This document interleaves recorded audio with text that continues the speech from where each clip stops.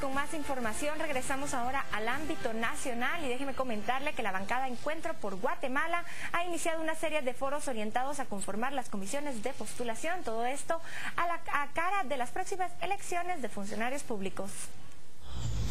Esta iniciativa de ley eh, nosotros la presentamos el 12 de marzo del año 2012, hace ya más de año y medio y hemos esperado eh, a la expectativa de que se dictamine favorablemente sobre las ah, iniciativas de reforma a la ley de comisiones de postulación, porque habiendo trabajado nosotros la ley de comisiones de postulación conocemos eh, algunos vacíos que quedan. Sin embargo, después de año y medio que no vemos que avance, entonces hoy quisiéramos hacer un taller para explicarles cuáles son las reformas que planteamos nosotros, su servidor y eh, hacer una exhortativa a las comisiones a que realmente antes eh, de que termine el mes de julio pudieran tener un dictamen favorable o en el mejor de los casos al tenor del artículo 112 de la ley orgánica se pudiera obviar el dictamen favorable se pasarán las tres lecturas ordinarias y en la tercera lectura y redacción por artículo se podrían incluir estas enmiendas y las enmiendas eh, que han propuesto en algunas mesas que se pudieran estar dando. Son básicamente cinco temas. Uno es límite de los gastos de campaña en la elección de representantes de los colegios profesionales en las comisiones de postulación.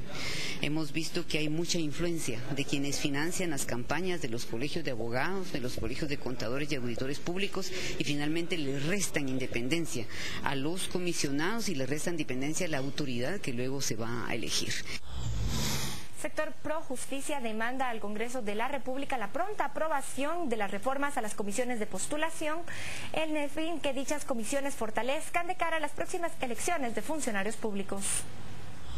Ha habido una serie de experiencias ya con la ley de comisiones de postulación que señalan eh, en dónde están las vulnerabilidades, en dónde están las falencias y los vacíos. El Congreso de la República tiene desde hace más de un año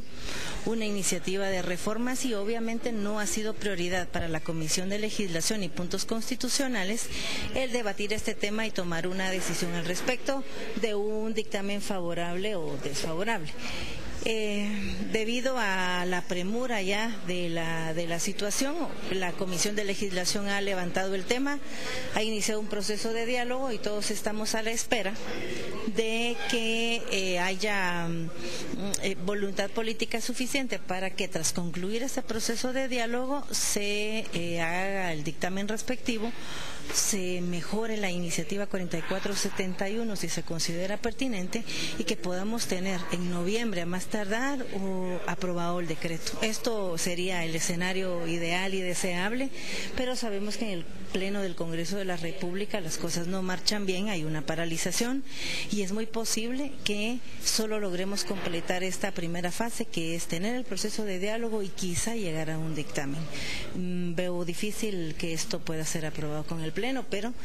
de todas maneras siempre hay que mantener la insistencia para que las mejoras que se puedan introducir a la ley este año puedan reflejarse en el trabajo de las comisiones de postulación el año entrante.